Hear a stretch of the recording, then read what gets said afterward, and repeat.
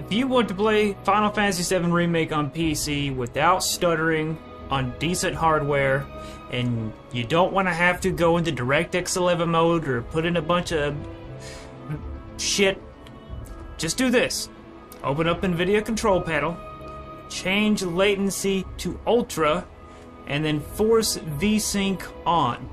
Now these other options I have done, I don't know if it actually makes a difference or not, but I also had changed those just for, you know, reliability's sake. If you do this,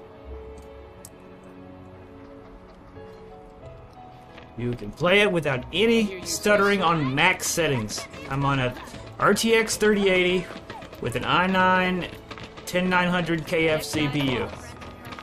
As you can see, it is the slums.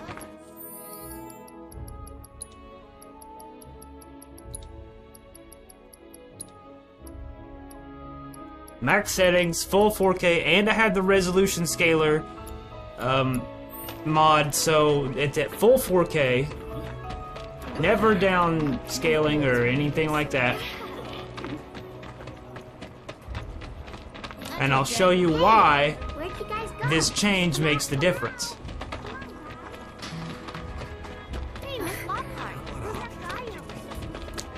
Before I did this fix, there was no way I could run through this place without constant stuttering. But as you can see, not a single frame drop. The reason why this seems to work is as follows. When I was seeing stuttering, I checked my task manager to see what the fuck my video card was doing. And I noticed it was having maybe 0 to 15% GPU usage. It would peak at 20%. And that was when I rotated the camera. But as you can see now, GPU usage is at a constant 50%.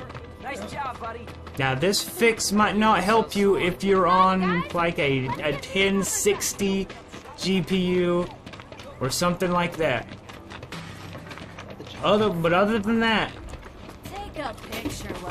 it just gives your video card more to chew on, so to speak. No reason a video card should be uh, having 0 to 10% utilization on a brand new game. So check your task manager and see what it's doing when it's stuttering, and if you notice something similar happening, then this is the fix for you.